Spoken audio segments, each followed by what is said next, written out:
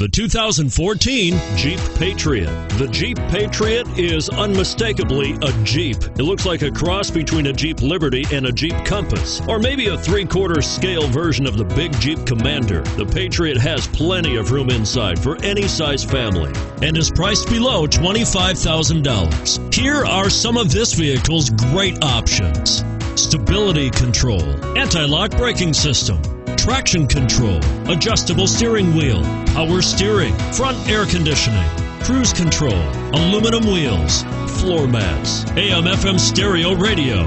This vehicle offers reliability and good looks at a great price. So come in and take a test drive today.